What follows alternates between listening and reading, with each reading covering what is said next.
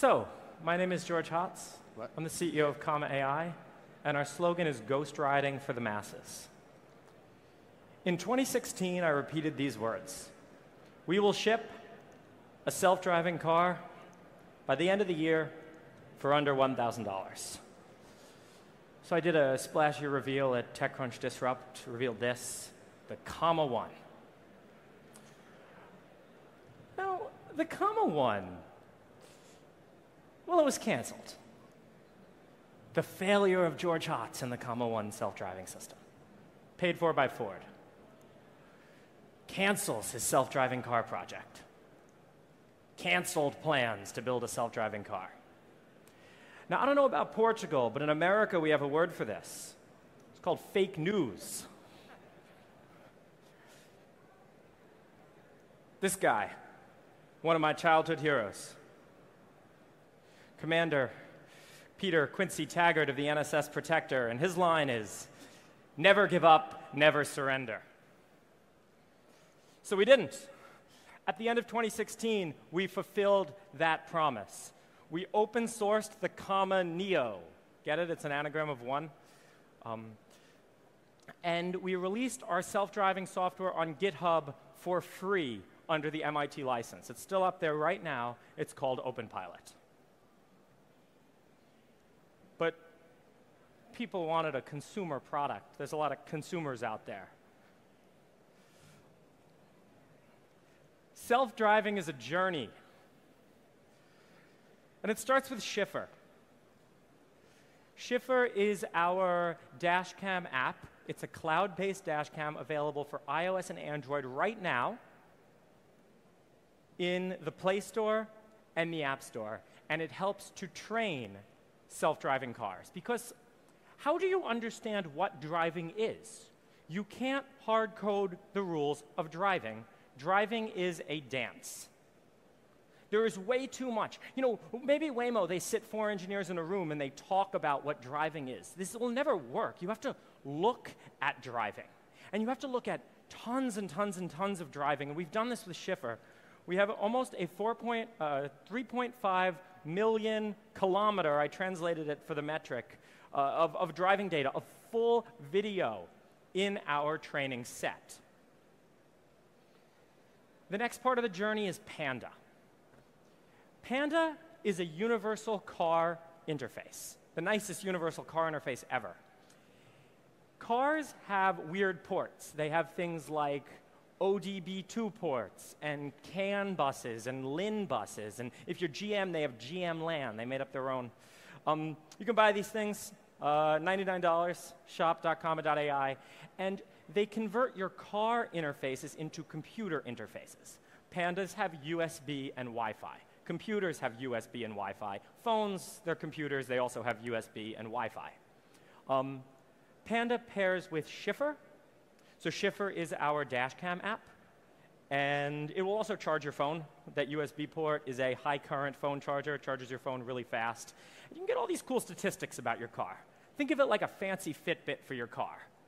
Um, revs, engine temperature, fuel, but you can get things that no other dongle can get also, like steering angle and individual wheel speeds. Panda is logging every message that's on your car's CAN bus. That's the phone version. On the computer, we've built a tool called Cabana. It's kind of like CANalyzer, but web based and modern. Um, so these are on the side here all the messages being sent in your car. You can load up a DBC file. Uh, we've reverse engineered a lot of the cars in another open source project, Comma AI OpenDBC, available on our GitHub. Cabana also lets you create DBC files for your car. You can draw plots right up next to the video, and uh, pandas are pretty cool. We've also, um, well, we shipped a lot of these. We shipped, you ever ship 2,000 of something? You ever like put 2,000 of something in envelopes? And uh, so we're, we're, making another run of 10,000 pandas, uh, and we're going to have them drop ship directly to Amazon. We'll have our manufacturer deal with all of that. Self driving is a journey. What we just announced about two weeks ago is the Eon. And the Eon is great universal computing hardware. So now we have an interface and we have universal computing. For sale at shop.comma.ai, $699. Um, it's a phone in a case, but it's a nice case. Um, one of the problems with just using a phone is self-driving software or fancy dashcam software draws a lot of power. Uh, OpenPilot draws about seven and a half, eight watts. So this cooling solution is good for up to 12. Um, it ships with Chffr Plus, which is a dashcam and infotainment system uh, replacement. And for music, we use Spotify. For nav, we use Waze because it's built on Android, we can just run the apps. You can also, it's also a developer kit, so you can SSH in, edit the software, run whatever software you'd like, including some aforementioned open source software that drives your car. I mean, maybe, maybe you can run that. It doesn't come with it. It doesn't, it's not designed to drive your car. Um, Self-driving is a journey. Open Pilot. For free on GitHub, now in version 0.3.8.2. Uh, we come out with a new version about every month. Wouldn't it be nice if your car had new software on it every month? And that's the thing, and that's the thing, and that's the reason that car manufacturers are, are going to lose and we're going to win. You know, you look at me like, how are we going to win self-driving cars? Well, it's because they don't update. It's because they don't understand software. It's because for them, adaptive cruise control is a box that you can just check off. But what about the feel? What about good adaptive cruise control that smoothly brakes and bad that when someone cuts in, it slams on the brakes real hard? You don't want that. You want it to feel nice and human. So add OpenPilot and your car drives itself. We support select Hondas and Toyotas. Uh, we support six of the top 10 cars sold in America. The software is open source. So there's been open source ports for Chevys and Teslas. Um, there's going to be a bunch more soon as well. And you can do it. We have a bounty program. We're rewarding people who port our software to more cars. Open Pilot. Well, we'll get to that in a minute. Let's, let's see a little video, right?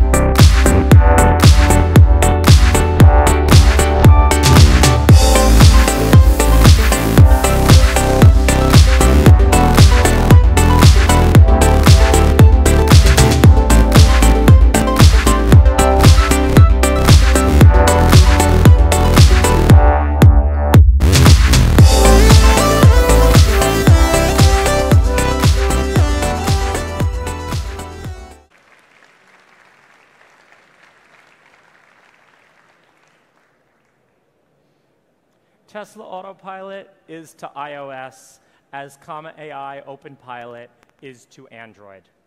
Tesla owns the vertical. They build hardware, they integrate software with it. All the other cars need great self driving software as well. And it's not going to come from the car manufacturers. In fact, The car manufacturers that are the furthest along today, the ones who have the best shot, who think they have the best shot at autonomy, maybe the Mercedes and the Fords, are going to lose the hardest. You know why I know this? Because the companies that were the furthest along in the smartphone race in 2006, Nokia and BlackBerry, are dead. Who won smartphones? Well, there's Apple, right? That's Tesla. But who else won? Samsung, LG, these companies that were making atrocious flip phones in 2006. So, my prediction now is down with Ford, down with Mercedes. Watch as Kia and uh, Hyundai embrace the future and ship OpenPilot on their cars or ship systems like that. These companies can't build software. Tesla can. Tesla gets it. OTA. When is GM going to have OTA on their cars? Who knows? Tesla Autopilot is to iOS as Comma AI OpenPilot is to Android. We want to be the Android of self-driving cars. There's already hundreds of OpenPilot users today. Unlike Waymo and Cruise, who post videos from their video production team, go look for Comma AI OpenPilot on YouTube, and you'll find, you know, we, have, we have about 150 users, and maybe 15 of them have posted videos of OpenPilot working, and it works just as well as I showed you in that video. This system is real. And every single user of our system is beaming data back to the mothership. They are all teaching us how to drive. These white X's are places where the driver needed to intervene. It's mistakes that our car made. It's a level two system. You have to pay attention at all times. But every time the car makes a mistake, we learn. We learn, we put it into our machine learning algorithms, and the system gets a bit smarter. And then we ship out a new update, and the system makes less mistakes, and we'll get all those mistakes back too. And then we'll ship a new update, and the system will get a bit smarter. We will win self driving cars, and I'll tell you why. I don't understand a lot of companies today. They seem to have lost their way. I'm not exactly sure what they want. They're tracking KPIs and metrics and weird stuff about users that I'll never understand. I want to win. I want to solve this problem. Self driving cars are one of the coolest puzzles of today, and I want to solve it. The hoodie is for sale at shop.comma.ai for uh, way too much money.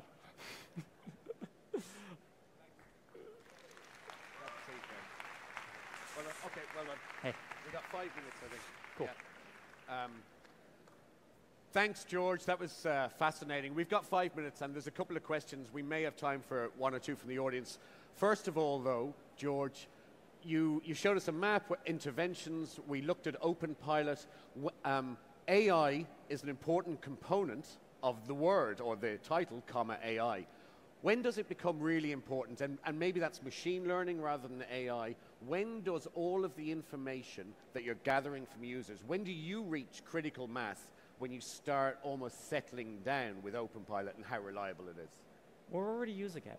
Um, what our users are doing every time they correct the car is they're training our system. It's reinforcement learning on the world. Uh, AI is largely used today as a buzzword. I'm not really sure what it means, but we are using cutting edge machine learning technology. You saw my segnets and depth nets on an earlier slide. It's already very important. And in 2018, we want to make that map empty. We want, okay. to, we want to drive down disengagements to zero. So, um, right now you're talking about hundreds of users. You've shipped 2,000 uh, eons. Um, when do you think you're going to get to the point where uh, the data you collect and analyze, when will you get excited by, by the stuff you can get from it? Well, we ship 2,000 pandas, not exactly 2,000 eons. Oh, okay. Um, but, uh, oh, so it's very exciting. Yeah. Oh, 3.5 million kilometers is like years and years and years of driving. Driving, yeah. Um, we, we, already, it's, it's, it's, it's, we, we have so much data already. But what's really interesting about the data we get from OpenPilot it, it, is it isn't just driving data. It's mistakes that our system yeah. made, and we can learn. It's reinforcement learning on the world. Mm. And you mentioned about the open source nature of, uh, of your software. Um, and so Panda and Eon and, you know, when you combine that, the potential for people in the audience, for people at home, f- to build something. What have you seen so far, and have you been excited by what people have said? This is what we've done with Comma AI stuff. Some of the some of the coolest stuff we got was the ports to the different cars. People have taken our stuff, understood it so well that they were able to make it work on their unsupported car. Um, and you know that's just testament to you know you're doing well on an open source project when you're getting meaningful contributions from people. And do they tell you about it? Do they? Yeah. Pull requests on GitHub. Pull requests on GitHub. It's the best way to have a conversation. Okay. You know, it's not business development. It's not Yeah. like sketchy backroom deals. It's open. No, but it's true. Yeah. It's open on GitHub, and this is so powerful to solve the problem. Yeah. Not even from an ideological perspective, but actually to solve the problem, to get these things built as quick as possible, and to make a lot of money. Yeah. And so, um, what markets do you find? Uh, is it US outside of America? How, how are people adapting? Um, we have a few. adopted. we have a few Open Pilot users. About 10% of our Open Pilot users are, are outside of America. A lot of them in Europe, um, uh, outside of U.S. and Canada. But most of them are 90% are U.S. and Canada. So um, I know obviously you're here in Portugal, and I, I think you're going to Asia shortly. Um, is that where the market is bringing you? Is it the volume of people on the road? Is it cars? What's bringing you? Here's the thing: we don't market to you. I'm, Yeah. I'm, I'm anti like advertising like that. We put this out there, and if you find it cool, get involved. Okay, yeah. And so, um, when you when you visit, you know, when you come to a country uh, like Portugal and uh, and on, um, people come up to you, and I know you talk about the GitHub uh, um, activity. Um, people talk to you about your products. Do they do they tell you what they need as drivers? Do they tell you what they need, or wh- wh- what what are they? Steve Jobs has this great thing where he's like, we don't ask the users what they want, we tell the users tell what they want. yeah. It's, it's, we're, we're, we're building you. If you're happy with the adaptive cruise control and lane keep assist system, you're, you, you don't even like understand what's possible and what's actually really easy and available today. I know we don't have a whole lot of time yet. One thing I have to ask you is where does comma AI belong in three years' time? Do you belong, and I'm not asking you about acquisition, but do you belong as part of a manufacturer, as part in the software business? Where do, where do you think? I'm thinking about where Android is in the phone business. That's, that's where I want to be with OpenPilot. Uh, you're happy to be the platform on which. Yeah, kind of like the, the self-driving, the software that's across all of the all of the hardware, right? Yeah. Just as like you know Samsung phones and LG phones and Motorola phones all run Android, we want to be Hondas, Toyotas, Chevys all run OpenPilot. Okay. Um, ladies and gentlemen, uh, fascinating as ever. Uh, George Hotz, comma AI. Thanks, George. Thank you. Right, that's right.